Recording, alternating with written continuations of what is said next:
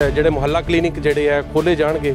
ਲੇਕਿਨ ਇਹਦੇ ਨਾਲ ਨਾਲ ਇੱਕ ਸਵਾਲ ਇਹ ਵੀ ਪੈਦਾ ਹੁੰਦਾ ਕਿ ਜਿਹੜੇ ਆਲਰੇਡੀ ਪੰਜਾਬ ਦੇ ਵਿੱਚ ਸਰਕਾਰੀ ਹਸਪਤਾਲ ਆ ਜਿਹੜੇ ਬਿਮਾਰ ਹੈ ਔਰ ਬਹੁਤ ਜ਼ਿਆਦਾ ਜਿਹੜੇ ਹਸਪੀਟਲ ਵੈਂਟੀਲੇਟਰ ਦੇ ਉੱਤੇ ਲੱਗੇ ਆ, ਉਹਨਾਂ ਨੂੰ ਸੁਧਾਰਨ ਵਾਸਤੇ ਸਰਕਾਰ ਦੇ ਜਿਹੜੇ ਉਹ ਕੀ ਸਟੈਪ ਹੈ ਪਹਿਲਾਂ ਜਿਹੜੀ 300 ਯੂਨਿਟ ਬਿਜਲੀ ਉਹਦੇ ਬਾਰੇ ਆਪਾਂ ਚਰਚਾ ਕਰ ਲਈ ਹੈ। 1 ਜੁਲਾਈ ਆ ਗਈ ਆ, ਤਿੰਨ ਦਿਨ ਰਹਿ ਗਏ ਗਿਣਤੀ ਦੇ। ਬਿਜਲੀ ਤਾਂ ਹੀ ਫ੍ਰੀ ਮਿਲੂ ਜੇ ਸਰਕਾਰ ਨੋਟੀਫਿਕੇਸ਼ਨ ਭੇਜੂਗੀ ਅੱਗੋਂ। ਐਕਸੀਐਨ ਨੂੰ ਐਸਡੀਓ ਨੂੰ, ਜੇ ਨੋਟੀਫਿਕੇਸ਼ਨ ਨਹੀਂ ਹੈ ਤਾਂ ਬਿਜਲੀ ਕਦੀ ਫ੍ਰੀ ਸੀ ਕਿ ਜਿਹੜਾ ਮਰਜ਼ੀ ਬੈਂਕ ਜਾ ਕੇ 25000 ਦਾ ਲੋਨ ਲੈ ਸਕਦਾ। ਤੇ ਬੈਂਕ ਦੇ ਮੈਨੇਜਰ ਕਹਿੰਦਾ ਜੀ ਕਿ ਮੈਂ 60 ਸਾਲ ਨੌਕਰੀ ਕਰਨੀ ਆ। ਮੈਂ 60 ਸਾਲ ਨੌਕਰੀ ਕਰਨੀ ਆ ਤੇ ਮੈਂ ਆਪਣੀ ਨੌਕਰੀ ਗਵਾਣੀ ਨਹੀਂ ਹੈਗੀ। ਜਿੰਨੀ ਦੇਰ ਮੈਨੂੰ ਨੋਟੀਫਿਕੇਸ਼ਨ ਨਹੀਂ ਹੋਗੀ, ਮੈਂ ਕੁਝ ਨਹੀਂ ਕਰ ਸਕਦਾ। ਆਪ, ਆਮ, ਆਪਾਂ ਪਬਲਿਕ ਦੇ ਹਿਸਾਬ ਨਾਲ ਦੇਖ ਲਈਏ, ਕੋਈ ਮਤਲਬ ਖਰੇ ਉਤਰਨ ਵਾਲੀ ਕੋਈ ਗੱਲ ਨਹੀਂ ਹੈਗੀ ਜੋ ਵਾਅਦੇ ਆ, ਉਹ ਕਾਗਜ਼ਾਂ 'ਚ ਵਾਅਦੇ ਨੇ, ਉੱਥੇ ਤੱਕ ਹੀ ਵਾਅਦੇ ਨੇ। ਵਾਅਦੇ ਤੇ ਉਦੋਂ ਹੀ ਹੋਣ ਪੂਰੇ ਹੋਣਗੇ ਨਾ, ਜਦੋਂ ਪਬਲਿਕ ਤੱਕ ਪਹੁੰਚਣਗੇ। ਜੇ ਪਬਲਿਕ ਤੱਕ ਆਣਗੇ ਨਹੀਂ, ਤਾਂ ਵਾਅਦੇ ਕਰਨ ਦਾ ਕੀ ਫਾਇਦਾ? ਮੈਂ ਤੁਹਾਡੇ ਨਾਲ ਵਾਅਦਾ ਕਰ ਲੈਣ ਮੈਂ ਆਹ ਕਰਾਂਗਾ। ਮੁੜ ਤੁਹਾਨੂੰ ਸ਼ਕਲ ਹੀ ਨਾ ਦਿਖਾਵਾਂਗਾ ਜਾਂ ਗੱਲਬਾਤ ਹੀ ਨਾ ਕਰਾਂਗਾ, ਤਾਂ ਕਾਹਦਾ ਵਾਅਦਾ? ਨਵੀਂ ਸਰਕਾਰ ਬਣੇ ਨੂੰ ਪੰਜਾਬ ਸਰਕਾਰ ਦੇ ਭਗਵੰਤ ਮਾਨ ਦੀ ਅਗਵਾਈ ਹੇਠ ਦੇ ਵਿੱਚ ਵਿੱਤ ਮੰਤਰੀ ਪਰ ਹਰਪਾਲ ਚੀਮਾ ਵੱਲੋਂ ਬਜਟ ਪੇਸ਼ ਕੀਤਾ ਗਿਆ। ਆਪਾਂ ਲ- ਗੱਲਬਾਤ ਕਰਦੇ ਆ ਲੋਕਾਂ ਦੇ ਨਾਲ ਕਿਹੜਾ ਬਜਟ ਆਇਆ ਹੈ, ਉਸ ਤੇ ਲੋਕ ਖੁਸ਼ ਹੈ ਜਾਂ ਨਹੀਂ। ਸਾਡੇ ਨਾਲ ਦੁਕਾਨਦਾਰ ਹੈਗੇ ਆ ਕੱਲ ਵਿੱਤ ਮੰਤਰੀ ਹਰਪਾਲ ਚੀਮਾ ਵੱਲੋਂ ਕਿਹੜਾ ਬਜਟ ਪੇਸ਼ ਕੀਤਾ ਗਿਆ, ਕਿ ਉਸ ਤੇ ਬਜਟ ਤੇ ਤੁਸੀਂ ਖੁਸ਼ ਹੋ? ਦੇਖੋ 2022 ਦੇ ਇਲੈਕਸ਼ਨਾਂ ਤੋਂ ਬਾਅਦ ਪੰਜਾਬ ਸਰਕਾਰ ਜਿਹੜੀ ਹੈ ਸੱਤਾ ਦੇ ਵਿੱਚ ਆਈ ਹੈ। ਇਹਨਾਂ ਦਾ ਪਹਿਲਾ ਜਿਹੜਾ ਇਹ ਬਜਟ ਪੇਸ਼ ਹੋਇਆ ਔਰ ਇਸ ਬਜਟ ਦੇ ਵਿੱਚ ਜਿੱਦਾਂ ਕਿ ਸ- ਜਾਣਕਾਰੀ ਜਿਹੜੀ ਆਈ ਹੈ ਕਿ ਕਿ ਕੋਈ ਵੀ ਨਵਾਂ ਟੈਕਸ ਜਿਹੜਾ ਹੈ, ਉਹ ਪੰਜਾਬ ਸਰਕਾਰ ਵੱਲੋਂ ਨਹੀਂ ਲਾਇਆ ਗਿਆ ਔਰ ਇਹ ਕੋਈ ਨਵੀਂ ਗੱਲ ਵੀ ਨਹੀਂ ਹੈਗੀ। ਉਹ ਪਿਛਲੀਆਂ ਸਰਕਾਰਾਂ ਨੇ ਵੀ ਜਿਹੜਾ ਹੈਗਾ, ਉਹ ਇਸੇ ਤਰੀਕੇ ਦੇ ਬਜਟ ਪੇਸ਼ ਕੀਤੇ ਹੈ। ਲੇਕਿਨ ਜਿਹੜੀ ਗੱਲ ਆਪਣੇ ਤੁਹਾਡੇ ਨਾਲ ਸਾਂਝੀ ਕਰਨੀ ਚਾਹਾਂਗਾ, ਉਹ ਇਹ ਹੈਗੀ ਕਿ ਕਿ ਬਜਟ ਵਧੀਆ ਜਾਂ ਨਹੀਂ ਵਧੀਆ ਦੇ ਨਤੀਜੇ ਜਿਹੜੇ ਆ ਵਧੀਆ ਆਣਗੇ ਕਿ ਨਹੀਂ ਆਣਗੇ ਜਿਹੜਾ ਉਹ ਸਭ ਤੋਂ ਵੱਡੀ ਜ਼ਰੂਰੀ ਗੱਲ ਹੈ। ਕਿਉਂਕਿ ਬਜਟ ਕੋਈ ਵੀ ਸਰਕਾਰਾਂ ਪੇਸ਼ ਕਰਦੀਆਂ ਔਰ ਉਹਦੇ ਵਿੱਚ ਬੜੇ ਲੰਬੇ ਚੌੜੇ ਅੱਛੇ ਮਤਲਬ ਕਿ ਉਹ ਸਕੀਮਾਂ ਦਿੱਤੀਆਂ ਜਾਂਦੀਆਂ। ਤੇ ਲੇਕਿਨ ਉਹ ਜ਼ਮੀਨੀ ਹਕੀਕਤ ਦੇ ਉੱਤੇ ਜਿਹੜਾ 1 ਸਾਲ ਪੂਰਾ ਹੋਣ ਤੋਂ ਬਾਅਦ ਉਹ ਪੂਰੀਆਂ ਹੁੰਦੀਆਂ ਕਿ ਨਹੀਂ ਹੁੰਦੀਆਂ ਉਹ ਦੇਖਣ ਵਾਲੀ ਗੱਲ ਜਿਹੜੀ ਹੈ ਹੁੰਦੀ ਹੈ। ਔਰ ਬਾਕੀ ਸਕੂਲਾਂ ਵਾਸਤੇ ਪੰਜਾਬ ਸਰਕਾਰ ਦੀ ਬੜੀ ਸੀਗੀ ਕਿ ਅਸੀਂ ਸਮਾਰਟ ਸਕੂਲ ਜਿਹੜੇ ਹੈਗੇ ਆ, ਪੰਜਾਬ ਦੇ ਸਕੂਲਾਂ ਨੂੰ ਸਮਾਰਟ ਸਕੂਲ ਬਣਾਵਾਂਗੇ।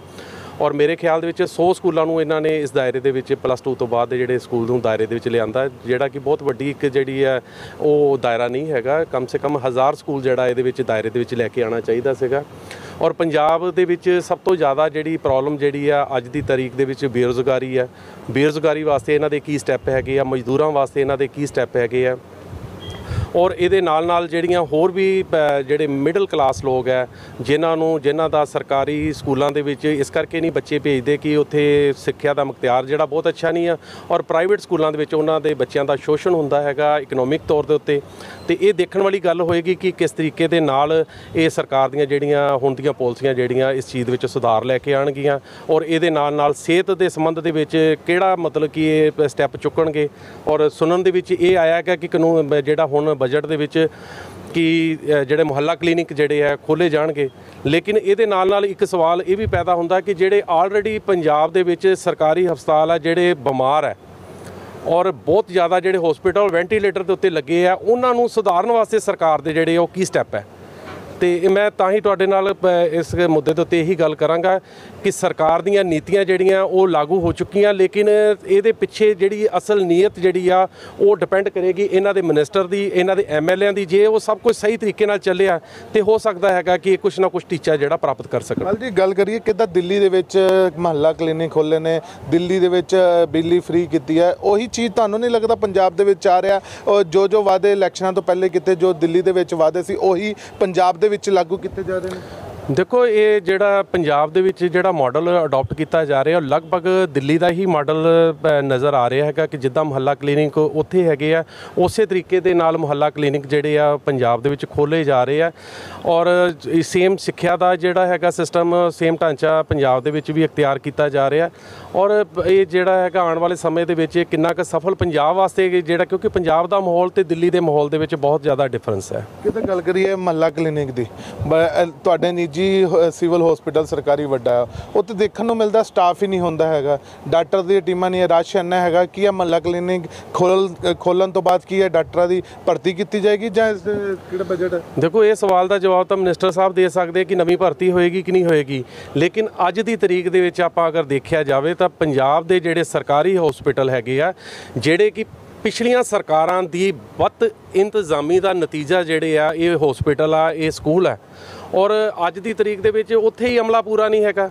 ਔਰ ਜਾ ਕੇ ਤੁਸੀਂ ਦੇਖੋਗੇ ਕਿ ਸਰਕਾਰੀ ਹਸਪਤਾਲਾਂ ਦੇ ਵਿੱਚ ਜਿਹੜੇ ਬੈੱਡਾਂ ਦੇ ਉੱਤੇ ਬੁਰਾ ਹਾਲ ਹੈ ਈਵਨ ਕਿ ਰਾਤ ਦੇ ਟਾਈਮ ਤੁਸੀਂ ਸ਼ਾਮ ਦੇ ਟਾਈਮ ਚਲ ਜਾਓਗੇ ਤੇ ਉੱਥੇ ਬੰਦੇ ਘੱਟ ਕੁੱਤੇ ਜ਼ਿਆਦਾ ਪਏ ਹੁੰਦੇ ਆ। ਔਰ ਜੇ ਸਿਸਟਮ ਨੂੰ ਸੁਧਾਰਨਾ ਹੈਗਾ ਤਾਂ ਮੇਰੇ ਖਿਆਲ ਦੇ ਵਿੱਚ ਜਿਹੜਾ ਸਿਸਟਮ ਪਹਿਲਾਂ ਆਲਰੇਡੀ ਖਰਾਬ ਹੋ ਚੁੱਕਾ ਹੈਗਾ ਉਹ ਸਿਸਟਮ ਨੂੰ ਸੁਧਾਰਨ ਦੀ ਜ਼ਰੂਰਤ ਆ। ਨਾ ਕਿ ਇਹੋ ਜੀਆਂ ਚੀਜ਼ਾਂ ਨੂੰ ਲਿਆ ਕੇ ਪੰਜਾਬ ਦੇ ਉੱਤੇ ਥੋਪਿਆ ਜਾਵੇ ਕਿਤੇ ਵਾਹਵਾਈ ਖੱਟਣ ਦੀ ਕੋਸ਼ਿਸ਼ ਕੀਤੀ ਜਾਵੇ। ਉਹ ਵਾਹਵਾਈ ਜਿਹੜੀ ਹੈਗੀ ਆ, ਉਹ ਜ਼ਮੀਨੀ ਸਤਰ ਦੇ ਉੱਤੇ ਫੇਲ ਹੋ ਜਾਏਗੀ ਜਦੋਂ ਪਹਿਲਾ ਢਾਂਚਾ ਜਿਹੜਾ ਸਭ ਤੋਂ ਵੱਡਾ ਢਾਂਚਾ ਜਿਹੜਾ ਉਹ ਫੇਲ ਹੋ ਜਾਏਗਾ ਤਾਂ। ਕੀ ਤੁਹਾਨੂੰ ਲੱਗਦਾ ਹੈ ਬਜਟ ਸਹੀ ਆਇਆ ਵਾ? ਬਜਟ ਜਿਹੜਾ ਹੈਗਾ ਉਹ ਕੁੱਲ ਮਿਲਾ ਕੇ ਜਿੱਦਾਂ ਮੈਂ ਪਹਿਲਾਂ ਹੀ ਦੱਸਿਆ ਵੀ ਕੋਈ ਟੈਕਸ ਨਹੀਂ ਹੈਗਾ ਲੇਕਿਨ ਇੰਡਸਟਰੀ ਨੂੰ ਵੇਖਿਆ ਜਾਵੇ ਤਾਂ ਕੋਈ ਰਾਇਤ ਵੀ ਨਹੀਂ ਹੈਗੀ। ਵਪਾਰੀ ਵਰਗ ਜਿਹੜਾ ਸਭ ਤੋਂ ਜ਼ਿਆਦਾ ਟੈਕਸ ਦਿੰਦਾ ਹੈਗਾ ਉਹਨੂੰ ਕੋਈ ਖਾਸ ਫੈਸਿਲਿਟੀਆਂ ਇਹਦੇ ਵਿੱਚ ਨਹੀਂ ਦਿੱਤੀਆਂ ਗਈਆਂ। ਔਰ ਸਰਕਾਰ ਨੇ ਵਾਅਦੇ ਕੀਤੇ ਸੀ ਉਹ ਸਰਕਾਰ ਹੱਲੇ ਵਾਅਦੇ ਪੂਰੇ ਨਹੀਂ ਕਰ ਰਹੀ। ਸ਼ਾਇਦ ਉਹ ਇਸ ਹਾਲਾਤ ਦੇ ਵਿੱਚ ਹੀ ਨਹੀਂ ਹੈਗੇ ਕਿ ਉਹ ਵਾਅਦਿਆਂ ਨੂੰ ਪੂਰਾ ਕਰ ਸਕੇ। ਠੀਕ ਹੈ ਨਾ, ਉਹ ਉਹ ਹਾਲਾਤ ਦੇ ਵਿੱਚ ਨਹੀਂ ਹੈਗੇ। ਪਹਿਲਾਂ ਉਹ ਆਪਣਾ ਰਾਜਸਵ ਵਧਾਉਣ ਦੇ ਚੱਕਰ ਦੇ ਵਿੱਚ ਹੈ ਕਿ ਰਾਜਸਵ ਵਧੇ, ਕਿ ਸਹੀ ਤਰੀਕੇ ਦੇ ਨਾਲ ਜਿਹੜੇ ਟੈਕਸ ਜਿਹੜੇ ਲੋਕ ਨਹੀਂ ਦੇ ਰਹੇ, ਉਹਨਾਂ ਨੂੰ ਟੈਕਸ ਦੇ ਦਾਇਰੇ ਦੇ ਵਿੱਚ ਲਿਆ ਕੇ ਟੈਕਸ ਉਹਨਾਂ ਕੋਲ ਕਲੈਕਟ ਕੀਤਾ ਜਾਊਗਾ। ਔਰ ਫਿਰ ਇਹ ਚੀਜ਼ਾਂ ਜਿਹੜੀਆਂ ਉਹ ਜਿਹੜੇ ਵਾਅਦੇ ਕੀਤੇ, ਉਹਦੇ ਵਾਲੇ ਪਾਸੇ ਹੋਣਗੇ। ਲੇਕਿਨ ਸਭ ਤੋਂ ਵੱਡੀ ਗੱਲ ਦੇਖੋ ਜੀ, ਬਾਬਾ ਸਾਹਿਬ ਅੰਬੇਦਕਰ ਨੇ ਵੀ ਇਹ ਗੱਲ ਕਹੀ ਸੀਗੀ ਕਿ ਦੇਸ਼ ਦਾ ਸੰਵਿਧਾਨ ਜਿਹੜਾ ਹੈਗਾ, ਉਹ ਜਿੰਨਾ ਮਰਜ਼ੀ ਵਧੀਆ ਹੋ ਜਾਵੇ। ਜਦੋਂ ਉਹਨੂੰ ਲਾਗੂ ਕਰਨ ਵਾਲੇ ਲੋਕ ਅੱਛੇ ਨਹੀਂ ਹੋਣਗੇ, ਉਨੀ ਦੇਰ ਤੱਕ ਸੰਵਿਧਾਨ ਵੀ ਜਿਹੜਾ ਹੈ, ਉਹ ਵਧੀਆ ਨਹੀਂ ਹੋਏਗਾ। ਔਰ ਸੰਵਿਧਾਨ ਜਿੰਨਾ ਮਰਜ਼ੀ ਮਾੜਾ ਹੋਵੇ। ਜੇ ਉਹਨੂੰ ਸਹੀ ਤਰੀਕੇ ਨਾਲ ਲਾਗੂ ਕਰਨ ਵਾਲੇ ਲੋਕ ਅੱਛੇ ਹੋਣਗੇ ਤਾਂ ਸੰਵਿਧਾਨ ਵਧੀਆ ਹੋ ਜਾਏਗਾ।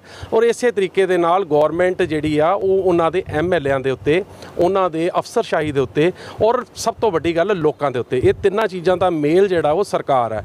ਜਿੰਨੀ ਦੇਰ ਤੱਕ ਤਿੰਨੇ ਇਮਾਨਦਾਰੀ ਦੇ ਨਾਲ ਸਹੀ ਕੰਮ ਨਹੀਂ ਕਰਨਗੇ, ਉਨੀ ਦੇਰ ਤੱਕ ਬਜਟ ਜਿੰਨੇ ਮਰਜ਼ੀ ਵਧੀਆ ਲੈ ਕੇ ਆ ਜਾਓ। ਬਜਟ ਜਿਹੜਾ ਹੈ ਜ਼ਮੀਨੀ ਸਤਰ ਦੇ ਉੱਤੇ ਸਫਲ ਨਹੀਂ ਹੋ ਸਕਦਾ। ਇਮਾਨਦਾਰੀ ਜਿਹੜੀ ਹੈਗੀ ਆ, ਉਹ ਇੱਕ ਮੁੱਖ ਮੰਤਰੀ ਤੋਂ ਲੈ ਕੇ ਐਮਐਲਏ ਐਮਐਲਏ ਤੋਂ ਲੈ ਕੇ ਕੌਂਸਲਰ ਕੌਂਸਲਰ ਤੋਂ ਲੈ ਕੇ ਆਮ ਜਨਤਾ ਔਰ ਇਸੇ ਤਰੀਕੇ ਦੇ ਨਾਲ ਪੁਲਿਸ ਪ੍ਰਸ਼ਾਸਨ, ਡੀਸੀ ਸਾਹਿਬ ਸਾਰੇ ਮਤਲਬ ਕਿ ਮਿਲ ਕੇ ਜੇ ਸਹੀ ਤਰੀਕੇ ਦੇ ਨਾਲ ਅਗਰ ਕੰਮ ਕਰਨਗੇ ਤਾਂ ਫਿਰ ਤਾਂ ਅਸੀਂ ਮੰਨ ਸਕਦੇ ਹਾਂ ਕਿ ਪੰਜਾਬ ਦਾ ਜਿਹੜਾ ਬਜਟ ਆ, ਉਹ ਆਪਣੇ ਸਹੀ ਨਤੀਜੇ ਜਿਹੜਾ ਲੈ ਕੇ ਆਏਗਾ। ਅਦਰਵਾਈਜ਼ 1 ਸਾਲ ਬਾਅਦ ਫਿਰ ਕੁਛ ਨਾ ਕੁਛ ਇਹ ਘਾਟੇ ਦਾ ਬਜਟ ਜਿਹੜਾ ਉਹ ਪੇਸ਼ ਹੋਏਗਾ ਕਿ ਇੰਨੇ ਕਰੋੜ ਰੁਪਏ ਦਾ ਘਾਟਾ ਪੈ ਗਿਆ ਤੇ ਉਹ ਜਿਹੜੀਆਂ ਚੀਜ਼ਾਂ ਜਿਹੜੀਆਂ ਸਾਹਮਣੇ ਆਣਗੀਆਂ ਇਮਾਨਦਾਰੀ ਦੀ ਬਹੁਤ ਜ਼ਿਆਦਾ ਲੋੜ ਹੈ। ਹੋਰ ਵੀ ਲੋਕ ਹੈਗੇ, ਆਪਾਂ ਇਹਨਾਂ ਨਾਲ ਗੱਲਬਾਤ ਕਰਦੇ ਹਾਂ। ਕਿਹੜਾ ਪੰਜਾਬ ਸਰਕਾਰ ਨੇ ਕੱਲ ਬਜਟ ਪੇਸ਼ ਕੀਤਾ? ਵਿੱਤ ਮੰਤਰੀ ਹਰਪਾਲ ਚੀਮਾ ਜੀ ਵੱਲੋਂ। ਕੀ ਉਹ ਬਜਟ ਤੇ ਤੁਸੀਂ ਖੁਸ਼ ਹੋ? ਪਹਿਲੀ ਨਿਗਾਹ ਦੇ ਵਿੱਚ ਜਿੱਦਾਂ ਦੱਸਿਆ ਗਿਆ ਭਾਈ ਸਾਹਿਬ ਵੱਲੋਂ ਵੀ ਵੀ ਕੋਈ ਨਵਾਂ ਟੈਕਸ ਨਹੀਂ ਲੱਗਾ ਹੈਗਾ। ਇੰਡਸਟਰੀ ਨੂੰ ਕੋਈ ਰਾਹਤ ਨਹੀਂ ਹੈਗੀ। ਆਉਣ ਵਾਲਾ ਸਮਾਂ ਦੱਸੇਗਾ। ਤੇ ਕੁੱਲ ਮਿਲਾ ਕੇ ਹਾਲੇ ਨਵੀਂ ਨਵੀਂ ਹੈਗਾ ਆ। ਤੇ ਇਹਦੇ ਵਾਸਤੇ ਆਪਾਂ ਬਹੁਤਾ ਕੋਈ ਜ਼ਿਆਦਾ ਕਹਿ ਨਹੀਂ ਸਕਦੇ। ਨਤੀਜੇ ਦੇਖਾਂਗੇ ਟਾਈਮ ਪਾ ਕੇ ਪਤਾ ਲੱਗੇਗਾ। ਕਿੱਦਾਂ ਉਹਨਾਂ ਨੇ ਕਿ ਸੱਤਾ ਤੋਂ ਆਉਣ ਤੋਂ ਪਹਿਲੇ ਇੰਡਸਟਰੀ ਵਾਲਿਆਂ ਨਾਲ ਵੀ ਬ- ਗੱਲਬਾਤ ਕੀਤੀ ਮੀਟਿੰਗਾਂ ਕੀਤੀ ਅਰਵਿੰਦ ਕੇਜਰੀਵਾਲ ਵੱਲੋਂ ਵੀ ਮੀਟਿੰਗਾਂ ਕੀਤੀਆਂ। ਮ- ਦੁਕਾਨਦਾਰਾਂ ਦੇ ਵਪਾਰੀਆਂ ਦੇ ਨਾਲ ਵੀ ਮੀਟਿੰਗਾਂ ਹੋਈਆਂ। ਕਹਿੰਦੇ ਸੀ ਹਾਂ ਵੀ ਕਿਹੜਾ ਪਹਿਲਾ ਬਜਟ ਆਏਗਾ ਉਹਦੇ 'ਚ ਅਸੀਂ ਵੱਡੇ ਵੱਡੇ ਇੰਡਸਟਰੀ ਨੂੰ ਤੇ ਵਪਾਰੀਆਂ ਲਈ ਜੋ ਲੈ ਕੇ ਆਵਾਂਗੇ। ਗੱਲ ਉਹੀ ਹੈ ਕਿ ਹਾਲੇ ਸ਼ੁਰੂਆਤ ਆ। ਸ਼ੁਰੂਆਤ ਦੇ ਵਿੱਚ ਹਾਲੇ ਕੁਝ ਵੀ ਨਹੀਂ ਕਿਹਾ ਜਾ ਸਕਦਾ। ਵੀ ਕੀ ਕਰਨਗੇ ਹਾਲੇ? ਇਹਨਾਂ ਨੂੰ ਵਧੀਆ ਬਜਟ ਪੇਸ਼ ਕਰਨਾ ਚਾਹੀਦਾ ਹਾਲੇ ਹੋਰ ਵੀ ਰਾਇਤਾ ਦੇਣੀ ਚਾਹੀਦੀ ਸੀ ਗਵਰਨਮੈਂਟ ਵੱਲੋਂ ਆਪਣੇ ਆਮ ਪਬਲਿਕ ਨੂੰ ਆਮ ਜਨਤਾ ਨੂੰ ਦੇਣੀ ਚਾਹੀਦੀ ਸੀਗੀਆਂ। ਪਰ ਉਹ ਕਹਿ ਰਹੇ ਕਿ ਹਾਲੇ ਖਜ਼ਾਨੇ ਸਾਡਾ ਖਾਲੀ ਹੈਗਾ ਪਹਿਲਾਂ ਉਹਨੂੰ ਭਰਾਂਗੇ ਤੇ ਫਿਰ ਆਪਾਂ ਗੱਲ ਕਰਾਂਗੇ ਅਗਲੀ। ਕੀ ਤੁਹਾਡੇ ਹਿਸਾਬ ਨਾਲ ਬਜਟ ਸਹੀ ਹੈ ਜਾਂ ਨਹੀਂ? ਨਹੀਂ ਬਿਲਕੁਲ ਜ਼ਿਆਦਾ ਵਧੀਆ ਨਹੀਂ ਕਿਹਾ ਜਾਂਦਾ ਦੇਖਾਂਗੇ ਵੇਟ ਐਂਡ ਵਾਚ ਤੁਸੀਂ ਦੇਖਿਆ ਅਸੀਂ ਗੱਲਬਾਤ ਕੀਤੀ ਗਈ ਆ ਆਪਾਂ ਹੋਰ ਲੋਕਾਂ ਦੇ ਨਾਲ ਵੀ ਗੱਲਬਾਤ ਕਰਦੇ ਹਾਂ। ਔਰ ਦੁਕਾਨਦਾਰ ਹੈ ਵਪਾਰੀ ਵੀ ਹੈ ਆਪਾਂ ਗੱਲਬਾਤ ਕਰਦੇ ਹੈਗੇ ਕਿਹੜਾ ਕੱਲ ਬਜਟ ਪੇਸ਼ ਕੀਤਾ ਗਿਆ ਹੈ ਵਿੱਤ ਮੰਤਰੀ ਹਰਪਾਲ ਚੀਮਾ ਵੱਲੋਂ ਕੀ ਉਹ ਬਜਟ ਸਹੀ ਹੈ ਜਾਂ ਨਹੀਂ? ਖਾਲੀ ਪੀਪਾ ਹੀ ਹੈ ਹੱਲੇ ਤੇ। ਬਜਟ ਦਾ ਵਿੱਚ ਇੱਕੋ ਹੀ ਗੱਲ ਜਿਹੜੀ ਹੈਗੀ ਨਾ 300 ਯੂਨਿਟ ਬਿਜਲੀ ਫ੍ਰੀ ਕਰਤੀ ਆ। ਉਹਦਾ ਚਰਚਾ ਬਹੁਤ ਹੋ ਰਹੀ ਸ਼ਹਿਰ ਦੇ ਵਿੱਚ। ਹੋਰ ਤਾਂ ਕੋਈ ਚਰਚਾ ਹੋ ਨਹੀਂ ਰਹੀ। ਉਹਨਾਂ ਨੇ ਇਹ ਵੀ ਕਿਹਾ ਵਾ ਮਹੱਲਿਆਂ ਦੇ ਵਿੱਚ, ਘਰ ਘ- ਘਰ ਘਰ ਮਹੱਲੇ ਦੇ ਵਿੱਚ ਕਲ- ਕਲੀਨਿਕ ਵੀ ਖੋਲੀਆਂ ਜਾਣਗੀਆਂ। ਕਿ ਉਹ ਕਲੀਨਿਕ ਵੱਡੇ ਵੱਡੇ ਹਸਪੀਟਲ ਸਰਕਾਰੀ ਹੈਗੇ ਆ, ਉੱਥੇ ਉਹ ਹਾਲੇ ਤੱਕ ਡਾਕਟਰ ਨਹੀਂ ਪੂਰੇ ਸਟਾਫ ਨਹੀਂ ਪੂਰਾ ਹੈਗਾ। ਕਿ ਉਹ ਮਹੱਲੇ ਕਲੀਨਿਕ ਖੋਲ ਕੇ ਕਾਮਯਾਬ ਹੋ ਸਕਦੇ ਨੇ? ਪਹਿਲੇ ਕਲੀਨਿਕ ਦੀ ਗੱਲ ਤਾਂ ਬੜੀ ਬਾਤ ਦੀ ਹੈ। ਪਹਿਲਾਂ ਜਿਹੜੀ 300 ਯੂਨਿਟ ਬਿਜਲੀ ਉਹਦੇ ਬਾਰੇ ਆਪਾਂ ਚਰਚਾ ਕਰ ਲਈ ਹੈ 1 ਜੁਲਾਈ ਆ ਗਈ ਆ ਤਿੰਨ ਦਿਨ ਰਹਿ ਗਏ ਗਿਣਤੀ ਦੇ। ਬਿਜਲੀ ਤਾਂ ਹੀ ਫ੍ਰੀ ਮਿਲੂ ਜੇ ਸਰਕਾਰ ਨੋਟੀਫਿਕੇਸ਼ਨ ਭੇਜੂਗੀ ਅੱਗੋਂ ਐਕਸੀਐਨ ਨੂੰ ਐਸਡੀਓ ਨੂੰ। ਜੇ ਨੋਟੀਫਿਕੇਸ਼ਨ ਨਹੀਂ ਤਾਂ ਬਿਜਲੀ ਕਦੀ ਫ੍ਰੀ ਇਹ ਤਾਂ ਪਹਿਲੀ ਦਿਨ ਨੂੰ ਦੁੱਧ ਦਾ ਦੁੱਧ ਤੇ ਪਾਣੀ ਦਾ ਪਾਣੀ ਹੋ ਜਾਣਾ। ਕੀ ਤੁਸੀਂ ਇਸ ਬਾਰੇ ਬਿਜਲੀ ਮਹਿਕਮੇ ਦੇ ਨਾਲ ਤੁਹਾਡੀ ਗੱਲਬਾਤ ਹੋਈ ਸੀ? ਮੇਰੀ ਇੱਕ ਦੋ ਜਣਾਂ ਨਾਲ ਗੱਲ ਹੋਈ ਹੈ ਉਹ ਕਹਿੰਦੇ ਇੰਦਰਾ ਗਾਂਧੀ ਨੇ ਇਹ ਤੋਂ 45 ਸਾਲ ਪਹਿਲਾਂ ਪੂਰਵ ਪ੍ਰਧਾਨ ਮੰਤਰੀ ਇੰਦਰਾ ਗਾਂਧੀ ਨੇ ਵੀ ਇਹੀ ਗੱਲ ਕਹੀ ਸੀ ਕਿ ਜਿਹੜਾ ਮਰਜ਼ੀ ਬੈਂਕ ਜਾ ਕੇ 25000 ਦਾ ਲੋਨ ਲੈ ਸਕਦਾ।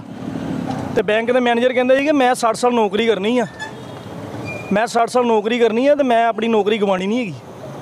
ਜਿੰਨੀ ਦੇਰ ਮੈਨੂੰ ਨੋਟੀਫਿਕੇਸ਼ਨ ਨਹੀਂ ਹੋਗੀ ਮੈਂ ਕੁਝ ਨਹੀਂ ਕਰ ਸਕਦਾ। ਕੀ ਇਹ ਸਿਰਫ ਕਹਿਣ ਨਾਲ ਮੀਡੀਆ ਦੇ ਵਿੱਚ ਗੱਲਾਂ ਕਰਨ ਨਾਲ ਜਾਂ ਕਿਤਾਬਾਂ ਦੇ ਵਿੱਚ ਲਿਖਣਾ? ਕਿੰਨੀ ਦੇਰ ਅਫਸਰਾਂ ਨੂੰ ਨੋਟੀਫਿਕੇਸ਼ਨ ਨਹੀਂ ਆਉਂਦੀ ਤੇ ਉਨੀ ਦੇਰ ਉਹ ਕੋਈ ਕੰਮ ਨਹੀਂ ਕਰ ਸਕਦੇ? ਅੱਜ ਤੱਕ ਕਦੀ ਹੋਇਆ ਹੀ ਨਹੀਂ। ਦੱਸੋ ਬਿਨਾਂ ਨੋਟੀਫਿਕੇਸ਼ਨ ਦੇ ਕਿਸੇ ਸਰਕਾਰੀ ਅਫਸਰ ਨੇ ਕੋਈ ਕੰਮ ਕੀਤਾ ਹੋਵੇ ਕੋਈ ਨਹੀਂ ਕਰਦਾ। ਕੀ ਇਹ ਸਰਕਾਰਾਂ ਝੂਠੇ ਵਾਅਦੇ ਕਰ ਰਹੀਆਂ? ਸਾਫ਼ ਫਿੱਕੇ ਲੋਲੀਪੌਪ ਹੈਗੇ ਆ ਸਭ ਨੂੰ ਪਤਾ। ਕਿਹੜਾ ਹੁਣ ਬਜਟ ਕੱਲ ਪੇਸ਼ ਹੋਇਆ ਹੈ ਬਜਟ ਦੇ ਵਿੱਚ ਕਈ ਚੀਜ਼ਾਂ ਲਿਆਂਦੀਆਂ। ਕਿਦੋਂ ਸੱਤਾ ਤੋਂ ਆਉਣ ਤੋਂ ਪਹਿਲੇ ਉਹਨਾਂ ਨੇ ਵਪਾਰੀਆਂ ਦੇ ਨਾਲ ਇੰਡਸਟਰੀ ਵਾਲਿਆਂ ਦੇ ਨਾਲ ਵਾਅਦੇ ਕੀਤੇ ਸੀ ਕਿ ਉਹ ਬਜਟ ਦੇ ਵਿੱਚ ਵਾਅਦੇ ਲਿਆ ਪੂਰੇ ਕਰ ਸਕੇ ਨੇ? ਇਹ ਗੱਲ ਤੁਹਾਡੀ ਬੜੀ ਬਹੁਤ ਵਧੀਆ ਪੁਆਇੰਟ ਹੈਗਾ। ਕੁਝ ਵਿਧਾਇਕ ਵੀ ਜਿਹੜੇ ਹੈਗੇ ਉਹ ਵੀ ਵਪਾਰੀ ਹੈਗੇ ਆ ਇੰਡਸਟਰੀਜ਼ ਹੈਗੇ ਆ। ਦੱਸਣ ਕੋਈ ਲਿਆਂਦੀ ਉਹਨਾਂ ਵਾਸਤੇ ਕੋਈ ਪਾਲਿਸੀ ਸਾਰੀਆਂ ਮੀਡੀਆ ਦੇ ਰਾਹੀਂ ਖਬਰਾਂ ਸਾਰੀਆਂ ਭਰੀਆਂ ਵੀ ਸਾਰੇ ਵਪਾਰੀ ਰੋਂਦੇ ਪਏ ਸੀਗੇ ਸਾਰੇ ਇੰਡਸਟਰੀ ਵਾਲੇ ਰੋਂਦੇ ਪਏ। ਬਿਜਲੀ ਪੂਰੀ ਨਹੀਂ ਹੁੰਦੀ ਵੀ ਇੰਡਸਟਰੀ ਤਾਂ ਹੀ ਚੱਲੂਗੀ ਜੇ ਬਿਜਲੀ ਹੋਊਗੀ ਜੇ। ਜੇ ਬਿਜਲੀ ਨਹੀਂ ਹੈਗੀ ਤਾਂ ਇੰਡਸਟਰੀ ਕਦੀ ਚੱਲੂਗੀ? ਕਿ ਇਹ ਬਜਟ ਤੁਹਾਡੇ ਹਿਸਾਬ ਨਾਲ ਸਹੀ ਹੈ ਜਾਂ ਨਹੀਂ? ਬਜਟ ਬਿਲਕੁਲ ਸਹੀ ਨਹੀਂ ਹੈਗਾ। ਸਾਡੇ ਨਾਲ ਹੋਰ ਵੀ ਵਪਾਰੀ ਹੈ ਤੁਸੀਂ ਵੀ ਵਪਾਰ ਦਿਓ। ਕਿਦੋਂ ਮੀਟਿੰਗਾਂ ਇੱਥੇ ਸੱਤਾ ਤੋਂ ਆਉਣ ਤੋਂ ਪਹਿਲੇ ਸਰਕਾਰਾਂ ਨੇ ਮੀਟਿੰਗਾਂ ਕੀਤੀਆਂ ਵਪਾਰੀਆਂ ਨਾਲ ਮੀਟਿੰਗਾਂ ਕੀਤੀਆਂ ਗਈਆਂ ਸੀ। ਕਿ ਉਹ ਮੀਟਿੰਗਾਂ ਦੇ ਵਿੱਚ ਜੋ ਉਹਨਾਂ ਨੇ ਵਾਅਦੇ ਕੀਤੇ ਸੀ ਤੁਸੀਂ ਦੀ ਆਪਣੀਆਂ ਮੁਸ਼ਕਲਾਂ ਦੱਸੀਏ। ਕਿ ਉਹ ਬਜਟ ਦੇ ਵਿੱਚ ਲਿਆ ਸਕੇ ਨਹੀਂ ਇਹ ਕੋਈ ਵੀ ਨਹੀਂ ਲਿਆਇਆ ਗਿਆ। ਇਹ ਤਾਂ 1 ਜੁਲਾਈ ਤੋਂ ਪਤਾ ਕਲੀਅਰ ਹੋਊਗਾ ਕਿ ਜੀ ਆਈ ਆ ਕਿ ਜੀ ਨਹੀਂ ਆਈ ਆ। ਜੇ ਨੋਟੀਫਿਕੇਸ਼ਨ ਹੋਏਗੀ ਫੇਰ ਹੀ ਕਲੀਅਰ ਆਊਟ ਹੋਊਗਾ ਕਿ ਉਹ ਚੀਜ਼ ਇੰਪਲੀਮੈਂਟ ਹੋ ਸਕਦੀ ਹੈ ਜਾਂ ਨਹੀਂ ਵੀ ਹੋ ਸਕਦੀ ਉਹ ਕਿਤੇ ਪੰਜਾਬ ਦੇ ਵਿੱਚ ਉਹਨਾਂ ਨੇ ਕਿਹਾ ਹਰ ਮਹੱਲੇ ਦੇ ਵਿੱਚ ਕਲੀਨਿਕ ਖੋਲੀ ਜਾ ਰਹੀ ਹੈਗੀ। ਕਿੱਦਾਂ ਦਿੱਲੀ ਦੇ ਵਿੱਚ ਕਲੀਨਿਕਾਂ ਖੋਲੀਆਂ ਉਦਾਂ ਹੀ ਪੰਜਾਬ ਦੇ ਵਿੱਚ ਕੀਤਾ ਜਾ ਰਿਹਾ। ਤੁਹਾਨੂੰ ਨਹੀਂ ਲੱਗਦਾ ਇਹ ਦਿੱਲੀ ਦੀ ਕਾਪੀ ਕਰਕੇ ਪੰਜਾਬ ਦੇ ਵਿੱਚ ਲਈ ਜਾ ਰਹੀ ਹੈ? ਸੇਮ ਉਹਦੇ ਸਟੱਡੀ ਚੱਲਦੇ ਪਏ ਪੰਜਾਬ ਵਾਲੇ ਜੀ। ਜਿਹੜਾ ਪੰਜਾਬ ਦਾ ਜੋ ਸੀਐਮ ਆ ਜੋ ਜੋ ਅਰਵਿੰਦ ਕੇਜਰੀਵਾਲ ਕਹੀ ਜਾਂਦਾ ਉਹੀ ਸੀਐਮ ਤੇ ਭਗਵੰਤ ਮਾਨ ਜੀ ਕਰੀ ਜਾਂਦੇ ਆ। ਮੁਹੱਲਾ ਕਲੀਨਿਕ ਤੇ ਤਾਂ ਚੱਲੇਗਾ ਨਾ ਜੇ ਆਪਣਾ ਪੂਰਾ ਸਟਾਫ ਹੋਏਗਾ। ਅੱਜ ਵੀ ਸਿਵਲ ਹਸਪੀਟਲ ਦੀ ਚੱਲ ਜਾਓ ਅੱਜ ਵੀ ਸਟਾਫ ਪੂਰਾ ਨਹੀਂ ਅੰਦਰ ਹੈਗਾ ਜੀ। ਲੋਕੀ ਅੱਜ ਵੀ ਬਾਹਰ ਬੈਠੇ ਹੋਊਗੇ ਭਾਵੇਂ ਚਾਹੇ ਉਹਨੂੰ ਕੋਈ ਵੀ ਕੋਈ ਵੀ ਪ੍ਰੋਬਲਮ ਹੈਗੀ ਉਹਨੂੰ ਕੋਈ ਵੀ। ਮਹੱਲਾ ਕਲੀਨਿਕ ਖੋਲਣ ਤੋਂ ਪਹਿਲੇ ਵੱਡੇ ਕਿਹੜੇ ਹਸਪੀਟਲ ਹੈ ਸਰਕਾਰੀ ਕੀ ਉਹਨਾਂ 'ਚ ਸਟਾਫ ਪੂਰਾ ਕਰਨਾ ਚਾਹੀਦਾ ਜਾਂ ਨਹੀਂ? ਉਹ ਪਹਿਲੇ ਜ਼ਰੂਰੀ ਹੈ ਜੀ ਪਹਿਲੇ ਉਹਨੂੰ ਤਾਂ ਮੇਨਟੇਨ ਕਰਨ ਨਾ ਉਹਦੀ ਸਫ਼ਾਈ ਦੇਖਣ ਉਹਨੂੰ ਮੇਨਟੇਨ ਕਰਨ ਉਹਨੂੰ ਉਹਨੂੰ ਅੱਛੀ ਤਰ੍ਹਾਂ ਵੈਲ ਫਰਨਿਸ਼ ਕਰਨ ਕਿ ਬੰਦਾ ਕੋ ਉੱਥੇ ਜਾਵੇ ਉਹਨੂੰ ਹਰੇਕ ਚੀਜ਼ ਦੀ ਅਵੇਲੇਬਿਲਿਟੀ ਮਿਲੇ। ਜੇ ਕੋ ਉੱਥੇ ਜਾਂਦਾ ਉਹਨੂੰ ਅੱਗੇ ਰੈਫਰ ਕਰ ਦਿੰਦੇ ਅੱਗੇ ਲੈ ਚੱਕ ਕੇ ਉਹਨੂੰ ਜੋ ਸਰਕਾਰ ਨੇ ਵਾਅਦੇ ਸੱਤਾ ਤੋਂ ਆਉਣ ਤੋਂ ਪਹਿਲੇ ਕੀਤੇ ਸੀ ਕੀ ਉਹ ਬਜਟ ਦੇ ਵਿੱਚ ਪੂਰੇ ਕੀਤੇ ਹੈ ਜਾਂ ਨਹੀਂ? ਇਹ ਭਾਈ ਤੁਹਾਨੂੰ ਦੱਸਿਆ ਇੱਕ- ਇੱਕ ਤਰੀਕ ਜੁਲਾਈ ਤੋਂ ਕਲੀਅਰ ਹੋਣਾ ਹੈ ਕਿ ਉਹ ਕਿਹੜੇ ਵਾਅਦੇ ਪੂਰੇ ਹੋਏ ਆ ਕਿਹੜੇ ਨਹੀਂ ਹੋਏ ਆ। ਇਹ ਤਾਂ ਤੁਹਾਡੇ ਸਾਹਮਣੇ ਪਤਾ ਤਿੰਨ ਦਿਨ ਹੋ ਗਏ ਤਿੰਨ ਦਿਨ ਤੁਹਾਨੂੰ ਆਪ ਪਤਾ ਜਾਣਾ ਕਿ ਜਿਹੜੀ ਚੀਜ਼ ਪੂਰੀ ਹੋਈ ਹੈ ਕਿ ਨਹੀਂ ਵੀ ਪੂਰੀ ਹੋਈ ਹੈ ਕਹਿਣ ਨੂੰ ਜਿਵੇਂ ਕੋਈ ਕੁਝ ਵੀ ਕਹੀ ਕਹੀ ਜਾਵੇ। ਇਹ ਜਦ ਤੱਕ ਹੋਰ ਨੋਟੀਫਿਕੇਸ਼ਨ ਕੀ ਕੱਲ ਬਜਟ ਪੇਸ਼ ਕੀਤਾ ਗਿਆ? ਕਿ ਬਜਟ ਦੇ ਵਿੱਚ ਤੁਸੀਂ ਜੋ ਬਜਟ ਉਹਨਾਂ ਨੇ ਪੇਸ਼ ਕੀਤਾ ਕਿ ਉਸ ਤੇ ਤੁਸੀਂ ਖੜੇ ਉਤਰੇ ਹੋ ਜਾਂ ਨਹੀਂ? ਨਹੀਂ ਨਹੀਂ, ਸਾਡੇ ਹਿਸਾਬ ਨਾਲ ਜਾਂ ਆਮ ਆਪਾਂ ਪਬਲਿਕ ਦੇ ਹਿਸਾਬ ਨਾਲ ਦੇਖ ਲਈਏ, ਕੋਈ ਮਤਲਬ ਖਰੇ ਉਤਰਨ ਵਾਲੀ ਕੋਈ ਗੱਲ ਨਹੀਂ ਹੈਗੀ ਇਹਦੇ 'ਚ। ਜੋ ਵਾਅਦੇ ਆ, ਉਹ ਕਾਗਜ਼ਾਂ 'ਚ ਹੀ ਵਾਅਦੇ ਨੇ, ਉੱਥੇ ਤੱਕ ਹੀ ਵਾਅਦੇ ਨੇ। ਵਾਅਦੇ ਤੇ ਉਦੋਂ ਹੀ ਹੋਣ ਪੂਰੇ ਹੋਣਗੇ ਨਾ ਜਦੋਂ ਪਬਲਿਕ ਤੱਕ ਪਹੁੰਚਣਗੇ। ਜੇ ਪਬਲਿਕ ਤੱਕ ਆਣਗੇ ਨਹੀਂ ਤਾਂ ਵਾਅਦੇ ਕਰਨ ਦਾ ਕੀ ਫਾਇਦਾ? ਮੈਂ ਤੁਹਾਡੇ ਨਾਲ ਵਾਅਦਾ ਕਰ ਲੈਣ ਮੈਂ ਇਹ ਕਰਾਂਗਾ। ਮੁੜ ਕੇ ਤੁਹਾਨੂੰ ਸ਼ਕਲ ਹੀ ਨਾ ਦਿਖਾਵਾਂਗਾ ਜਾਂ ਗੱਲਬਾਤ ਹੀ ਨਾ ਕਰਾਂਗਾ। ਤਾਂ ਕਾਹਦਾ ਵਾਅਦਾ? ਕਿ ਸੱਤਾ ਤੋਂ ਆਉਣ ਤੋਂ ਪਹਿਲੇ ਕਿਹੜੇ ਵਾਅਦੇ ਕੀਤੇ ਸੀ ਉਹ ਪੂਰੇ ਹੋ ਰਹੇ? ਆ ਅੱਜ ਤੱਕ ਤਾਂ ਕੋਈ ਨਹੀਂ ਹੋਇਆ ਜੀ। ਜਿਹੜੇ ਹੁਣ ਬਜਟ ਲਿਆਂਦਾ ਗਿਆ ਮਹੱਲਾ ਕਲੀਨਿਕ ਹੋਰ ਵੀ ਕਈ ਉਹਨਾਂ ਨੇ ਬਜਟ ਦੇ ਵਿੱਚ ਚੀਜ਼ਾਂ ਦੱਸੀਆਂ ਹੈਗੀਆਂ ਕਿ ਉਹ ਉਹ ਪੂਰੀਆਂ ਹੋ ਸਕਣਗੀਆਂ? ਭਾਈ ਅੱਜ ਤੱਕ ਸਰਕਾਰਾਂ ਨੇ ਕਿਹੜੇ ਵਾਅਦੇ ਪੂਰੇ ਕੀਤੇ? ਪਬਲਿਕ ਲਈ ਕੀ ਕੀਤਾ ਅਸੀਂ ਉਹ ਸੋਚਦੇ ਆ ਮਹੱਲਾ ਕਲੀਨਿਕ ਤੇ ਬਹੁਤ ਦੂਰ ਦੀ ਗੱਲ ਰਹੀ ਸਾਡੇ ਅੱਜ ਹਾਰਟ ਪੇਸ਼ੈਂਟ ਹੀ ਆ। ਕੋਈ ਹਾਰਟ ਪੇਸ਼ੈਂਟ ਸਿਵਲ ਹਸਪੀਟਲ ਚਲਾ ਜਾਏ ਤੇ ਉਹਨੂੰ ਮੈਂ ਉਹਨਾਂ ਨੂੰ ਪਹਿਲੇ ਲਿਖ ਦੇਣਾ ਸੀ ਤੁਸੀਂ ਉਹ ਫਲਾਣੇ ਹਸਪਤਾਲ ਚਲੇ ਜਾਓ ਸਾਡੇ ਕੋਲ ਅਰੇਂਜਮੈਂਟ ਹੀ ਹੈ ਨਹੀਂ। ਉਹ ਸਾਹਿਬ ਵੀ ਕਹਿੰਦੇ ਸਾਡੇ ਕੋਲ ਅਰੇਂਜਮੈਂਟ ਹੀ ਨਹੀਂ। ਉਹਨਾਂ ਨੇ ਇਹ ਵੀ ਬਜਟ ਦੇ ਵਿੱਚ ਕਿਹਾ ਵਾ ਐਕਸੀਡੈਂਟ ਨੂੰ ਕਿਹੜਾ ਇਲਾਜ ਆ ਉਹ ਫ੍ਰੀ ਕੀਤਾ ਜਾਏਗਾ। ਉਹ ਐ ਨਹੀਂ ਹੱਲੇ ਦੱਸਿਆ ਗਿਆ ਕਿਹੜਾ ਇਲਾਜ ਆ ਉਹ ਸਰਕਾਰੀ ਹਸਪੀਟਲ 'ਚ ਫ੍ਰੀ ਕੀਤਾ ਜਾਏਗਾ ਜਾਂ ਪ੍ਰਾਈਵੇਟ ਹਸਪੀਟਲਾਂ 'ਚ ਹਾਂ ਇਹੀ ਤਾਂ ਗੱਲਾਂ ਦੇਖਣ ਵਾਲੀਆਂ। ਇਹ ਫ੍ਰੀ ਕਰ ਦਿੱਤਾ ਜਾਏਗਾ ਗਾ। ਨਾ ਇਹ ਕੀਤਾ ਤਾਂ ਨਹੀਂ ਨਾ ਕੋਈ। ਮਤਲਬ ਇਹ ਤਾਂ ਹੁਣ ਜਿਹੜਾ ਹਸਪਤਾਲ ਤੁਹਾਡੇ ਕੋਲ ਹੋਏਗਾ ਉਹ ਲੈਗਾ ਨਹੀਂ ਸਿਵਲ ਹਸਪਤਾਲ ਹੋਏਗਾ ਤੁਹਾਡੇ ਤੋਂ 5 10 ਕਿਲੋ 20 15 ਕਿਲੋਮੀਟਰ ਹਾਈਵੇ ਤੇ ਵੀ ਹੋ ਸਕਦਾ। ਉੱਥੋਂ ਆਣ ਕੇ 15 ਕਿਲੋਮੀਟਰ ਵੀ ਹੋ ਸਕਦਾ 10 ਜਾਂਦੇ ਅਗਲੇ ਕਹਿ ਦੇਣਗੇ ਸਾਡੇ ਕੋਲ ਅਰੇਂਜਮੈਂਟ ਹੀ ਨਹੀਂ ਕੀ ਕਰੋਗੇ ਉੱਥੇ ਆਪਾਂ? ਤੁਸੀਂ ਦੇਖਿਆ ਅਸੀਂ ਲੋਕਾਂ ਨਾਲ ਗੱਲਬਾਤ ਕੀਤੀ ਕਿ ਉਹਨਾਂ ਨੇ ਇਹ ਵੀ ਬਜਟ ਦੇ ਵਿੱਚ ਕਿਹਾ ਜਿਹੜਾ ਐਕਸੀਡੈਂਟ ਹੋਏਗਾ ਉਸ ਨੂੰ ਐਂਬੂਲੈਂਸ ਕਿਤੇ ਵੀ ਇਲਾਜ ਕਰਾਇਆ ਜਾਏਗਾ, ਉਹ ਫ੍ਰੀ ਕੀਤਾ ਜਾਏਗਾ। ਉਹਨਾਂ ਨੇ ਹਾਲੇ ਕਲੀਨ ਕਲੀਅਰ ਨਹੀਂ ਕੀਤਾ ਗਿਆ, ਉਹ ਸਰਕਾਰੀ ਹਸਪੀਟਲਾਂ ਦੇ ਵਿੱਚ ਫ੍ਰੀ ਇਲਾਜ ਹੈ ਜਾਂ ਪ੍ਰਾਈਵੇਟ ਹਸਪੀਟਲਾਂ ਦੇ ਵਿੱਚ ਫ੍ਰੀ ਇਲਾਜ ਹੋਏਗਾ? ਅੱਜ ਤੋਂ 15 ਦਿਨ ਪਹਿਲਾਂ ਦੀ ਗੱਲ ਕਰ ਰਿਹਾ ਮੈਂ। ਸਾਡਾ ਭਰਾ ਹੈਗਾ ਵਿਸ਼ਾਲ ਕਾਲੀਆ। ਉਹਦੀ ਵੋਟੀ ਬਿਮਾਰ ਸੀਗੀ, ਉਹਦਾ ਇਲਾਜ ਚੱਲਦਾ ਪਿਆ ਸੀਗਾ। ਜਿਹੜਾ ਸੈਂਟਰ ਗਵਰਨਮੈਂਟ ਵੱਲੋਂ ਕਾਰਡ ਹੈਗਾ ਨਾ, ਉਹਨੇ ਕਾਰਡ ਚਲਾਇਆ। ਡਾਕਟਰ ਕਹਿੰਦਾ ਜੀ, ਮੈਂ ਕਾਰਡ ਅਸੈਪਟ ਨਹੀਂ ਕਰਦਾ। ਕਿਉਂ ਨਹੀਂ ਅਸੈਪਟ ਕਰਦਾ? ਇਹ ਤਾਂ ਡਾਕਟਰ ਦੱਸੇਗਾ ਨਾ। ਉੱਥੇ ਜਲੰਧਰ ਦੇ ਇੱਕ ਪੂਰਵ ਵਿਧਾਇਕ ਨੇ ਉਹਨੂੰ ਫੋਨ ਕੀਤਾ ਕਿ ਤੂੰ ਲਿਖ ਕੇ ਦੇ। ਪਹਿਲਾਂ ਜਿਹੜੇ ਕਾਰਡ ਹੈਗੇ ਸੈਂਟਰ ਗਵਰਨਮੈਂਟ ਉਹਨੂੰ ਕਹਿਣਗੇ ਚਲਾਓ ਬਈ। ਬਾਕੀ ਤਾਂ ਇਲਾਜ ਬਾਅਦ ਹੀ ਗੱਲ ਕੀ ਕਿਹੜਾ ਕਾਰਡ ਸੀ ਉਹ? ਜਿਹੜਾ ਸੈਂਟਰ ਗਵਰਨਮੈਂਟ ਵੱਲੋਂ ਕਾਰਡ ਹੈਗਾ। ਉਹ ਕਹਿੰਦੇ ਨੇ ਸੈਂਟਰ ਗਵਰਨਮੈਂਟ ਦਾ ਕਿ ਤੁਸੀਂ ਗੱਲ ਕੀਤੇ ਹੋ ਕਾਰਡ ਦੀ। ਕਹਿੰਦੇ ਡਾਕਟਰਾਂ ਨਾਲ ਵੀ ਗੱਲਬਾਤ ਹੋਈ ਸੀ। ਕਹਿੰਦੇ ਸਾਨੂੰ ਫੰਡ ਨਹੀਂ ਆ ਰਿਹਾ ਹੈਗਾ। ਕਿਹੜਾ ਸੀ? ਇਸ ਲਈ ਕਾਰਡ ਕਿਹੜੇ ਬੰਦ ਕੀਤੇ ਗਏ? ਸਭ ਝੂਠ ਹੈਗਾ ਵਾ। ਸੈਂਟਰ ਗਵਰਨਮੈਂਟ ਸਾਰੇ ਫੰਡ ਦੇ ਰਹੀ ਆ। ਪਹਿਲਾਂ ਕਾਰਡ ਚੱਲਦਾ ਫੰਡ ਆ ਰਿਹਾ ਸੀਗਾ। ਇੱਕਦਮ ਕਿਹੜੀ ਗੱਲ ਹੋ ਗਈ? ਇਹ ਪੰਜਾਬ ਗਵਰਨਮੈਂਟ ਨੇ ਕਿਹਾ ਵੇ ਕਿ ਕਾਰਡ ਨਹੀਂ ਚੱਲਣਾ ਚਾਹੀਦਾ। ਕੀ ਤੁਸੀਂ ਕਿਹੜਾ ਬਜਟ ਕੱਲ ਆਇਆ ਇਸ ਤੇ ਤੁਸੀਂ ਖੁਸ਼ ਹੋ ਜਾਂਦੇ? ਮੈਂ ਜਨਰਲ ਕੈਟਾਗਰੀ ਦਾ ਬੰਦਾ ਹਾਂ ਸਭ ਤੋਂ ਪਹਿਲਾਂ। ਜਨਰਲ ਕੈਟਾਗਰੀ ਵਾਸਤੇ ਇਹਨਾਂ ਨੇ ਕੀ ਕੀਤਾ ਉਹ ਦੱਸਣ ਪਹਿਲਾਂ। ਕਿਆ ਜਨਰਲ ਕੈਟਾਗਰੀ ਵਾਲਾ ਬੰਦਾ ਸਿਰਫ ਟੈਕਸ ਦੇਣ ਜੋਗਾ ਹੀ ਰਹਿ ਗਿਆ ਵਾ। ਸਾਡੇ ਵਾਸਤੇ ਤਾਂ ਕੋਈ ਫੈਸਿਲਿਟੀ ਨਹੀਂ ਹੈਗੀ। ਤੁਸੀਂ ਦੇਖਿਆ ਸੀ ਦੁਕਾਨਦਾਰਾਂ ਦੇ ਨਾਲ ਗੱਲਬਾਤ ਕੀਤੀ ਗਈ ਹੈ ਵਪਾਰੀਆਂ ਦੇ ਨਾਲ ਗੱਲਬਾਤ ਕੀਤੀ ਗਈ ਹੈ। ਉਹਨਾਂ ਦਾ ਕਹਿਣਾ ਜੋ ਕੱਲ ਵਿੱਤ ਮੰਤਰੀ ਹਰਪਾਲ ਚੀਮਾ ਵੱਲੋਂ ਇੱਕ ਬਜਟ ਪੇਸ਼ ਕੀਤਾ ਗਿਆ ਉਸ ਬਜਟ ਪੇਸ਼ ਦੇ ਵਿੱਚ ਕੋਈ ਕੁਝ ਗੱਲਾਂ ਜਿਹੜੀਆਂ ਵਾਅਦੇ ਲੈ ਕੇ ਆਏ ਸੀ ਕਿ ਮਹੱਲਾ ਕਲੀਨਿਕ ਹੈ ਐਕਸੀਡੈਂਟ ਕੇਸ ਹੁੰਦਾ ਤੇ ਉਹਨਾਂ ਦਾ ਫ੍ਰੀ ਇਲਾਜ ਕੀਤਾ ਜਾਏਗਾ ਕਿਦੋਂ ਵਪਾਰੀਆਂ ਦੇ ਨਾਲ ਗੱਲਬਾਤ ਕੀਤੀ ਗਈ ਹੈ। ਵਪਾਰੀਆਂ ਦਾ ਕਹਿਣਾ ਹੈ ਸਾਡੇ ਨਾਲ ਸੱਤਾ ਤੋਂ ਆਉਣ ਤੋਂ ਪਹਿਲੇ ਸਾਡੇ ਨਾਲ ਮੀਟਿੰਗਾਂ ਵੀ ਕੀਤੀਆਂ ਗਈਆਂ ਸਾਡੇ ਨਾਲ ਵਾਅਦੇ ਵੀ ਕੀਤੇ ਗਏ ਨੇ। ਅਸੀਂ ਇੰਨੇ ਅ, ਖੂਬ ਸੀ ਕਿਹੜਾ ਬਜਟ ਆਏਗਾ ਸਾਡਾ ਵਪਾਰੀਆਂ ਲਈ ਬ- ਬਜਟ ਕਿਹੜਾ ਸਹੀ ਕੀਤਾ ਜਾਏਗਾ। ਉਸ ਦੇ ਵਿੱਚ ਬਜਟ ਦੇ ਵਿੱਚ ਕੁਝ ਵੀ ਵਪਾਰੀਆਂ ਲਈ ਨਹੀਂ ਲੈ ਕੇ ਆਏ। ਕਿਹੜੇ ਵਪਾਰੀ ਹੈ, ਉਸ ਤੇ ਨਾਰਾਜ਼ ਜਿਤਾਏ ਜਾ ਰਹੇ ਨੇ। ਕੈਮਰਾਮੈਨ ਦੇਵਰਾਜ ਦੇ ਨਾਲ ਸੋਨੂ ਮਹਾਜਨ, ਪੰਜਾਬ ਕੇਸਰੀ ਟੀਵੀ, ਜਲੰਧਰ।